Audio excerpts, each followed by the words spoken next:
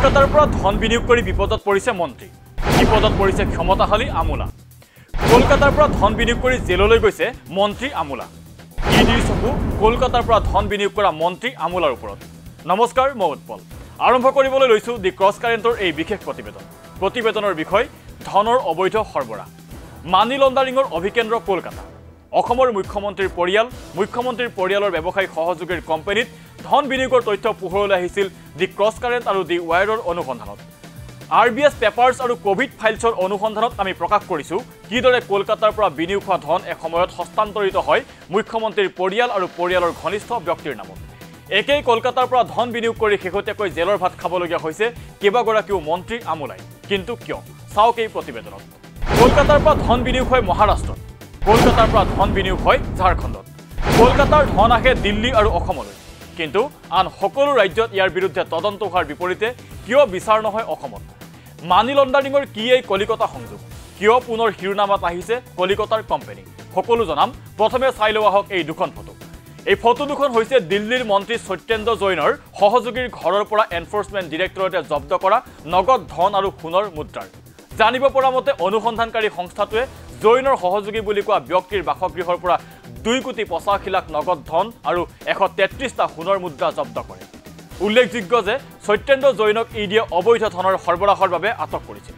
অভিযোগ অনুসৰি ধনৰ অবৈধ সৰবৰাহৰ বাবে জৈনে সহায় লৈছিল কলিকতাৰ চেল কোম্পানীৰ। চেল কোম্পানীসমূহক কাগজী কোম্পানী বুলিও ক'ব পাৰি কাৰণ এই কোম্পানীসমূহৰ বাস্তৱত কোনো অস্তিত্ব নাথাকে। নাথাকে কোনো নিৰ্দিষ্ট ব্যৱসায়। কেৱল ধন সৰবৰাহৰ বাবে ব্যৱহাৰ কৰা হয় এই চেল কোম্পানীসমূহক। ইডিৰ মতে কলকাতাৰ চেল কোম্পানীৰ জৰিয়তে দিল্লীৰ স্বাস্থ্যমন্ত্ৰী সত্যেন্দ্ৰ জৈনে ষোল্ল দশমিক তিনি ন কোটি টকা নিজৰ চাৰিটা কোম্পানীত বিনিয়োগ কৰা দেখুৱাইছিল। ষোল্ল দশমিক তিনি ন কোটি টকাৰ শ্বেয়াৰ কলিকতাৰ কোম্পানীয়ে ক্ৰয় কৰিছিল। সত্যেন্দ্ৰ জৈন আৰু তেওঁৰ পৰিয়ালৰ নামত থকা চাৰিটাকৈ কোম্পানীৰ পৰা। কিন্তু এই সমুদায় ধন আছিল সত্যেন্দ্ৰ জৈনে কোনো অজ্ঞাত উৎসৰ পৰা সংগ্ৰহ কৰা। যি ধন পৰৱৰ্তী সময়ত কলকাতাৰ কোম্পানীৰ বিনিয়োগ হিচাপে দেখুৱাইছিল। কলকাতাৰ চেল কোম্পানীৰ জৰিয়তে কলা ধন বিনিয়োগৰ এইটোৱে প্ৰথম বা শেষ ঘটনা নহয়। শেহতীয়াকৈ ইডিয়ে গ্ৰেপ্তাৰ কৰিছিল মহাৰাষ্ট্ৰৰ গৃহমন্ত্ৰী অনিল দেশমুখক। ইডিৰ অভিযোগত কোৱা হৈছিল যে অনিল দেশমুখে উৎকোচৰ ধন নিজৰ কোম্পানীত বিনিয়োগ হোৱা ধন বুলি দেখুৱাইছিল। ইয়াৰ বাবে অনিল দেশমুখে সহায় লৈছিল কলকাতাৰ ওঠৰটাকৈ চেল কোম্পানীৰ তেওঁ নিজৰ কোম্পানী জুদাইক ডেলকম প্ৰাইভেট লিমিটেডত কলকাতাৰ ওঠৰটাকৈ কোম্পানীয়ে ন দশমিক আঠ দুই কোটি টকা বিনিয়োগ কৰা বুলি দেখুৱাইছিল। অলপতে ইডিৰ জালত পৰিছিল ঝাৰখণ্ডৰ আই এ এছ বিষয়া পূজা সিংঘাল। তেওঁৰ ঘৰৰ পৰা উদ্ধাৰ হৈছিল নগদ সোতৰ দশমিক আঠ শূন্য কোটি টকা। ইডিয়ে গ্ৰেপ্তাৰ কৰিছিল পূজা সিংঘালৰ স্বামী অভিষেক ঝাকু। ইডিৰ সূত্ৰৰ আঁত ধৰি প্ৰকাশ পোৱা বাতৰি অনুসৰি কলকাতাৰ এহাল দম্পতী প্ৰাচী আগৰৱাল আৰু ৰৌনাক আগৰৱালৰ বিছটা চেল কোম্পানীৰ জৰিয়তে ধন বিনিয়োগ হৈছিল ঝাৰখণ্ডৰ ঠিকনা থকা পূজা সিংঘালৰ স্বামীৰ কোম্পানীত।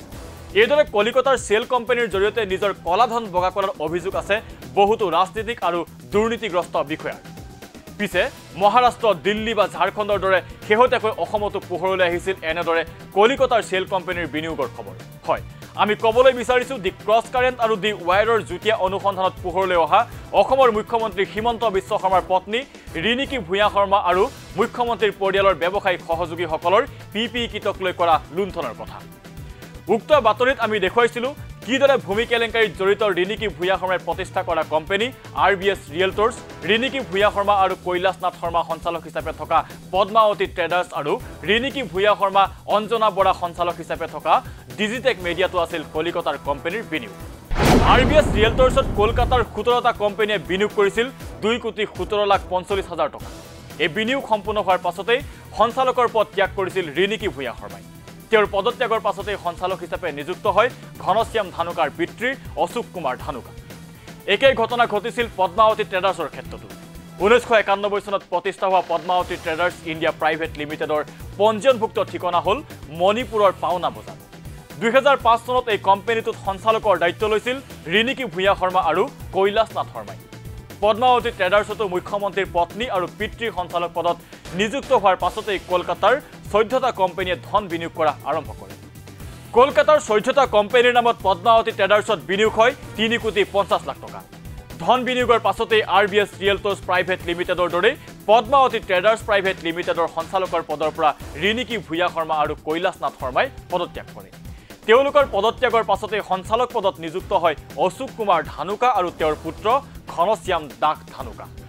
আনহাতে ৰিণিকী ভূঞা শৰ্মা আৰু ৰাজীৱ কুমাৰ বৰাৰ পত্নী অঞ্জনা বৰাই দুহেজাৰ আঠ চনৰ ঊনত্ৰিছ ছেপ্টেম্বৰত প্ৰতিষ্ঠা কৰিছিল Digitech media and entertainments private limited.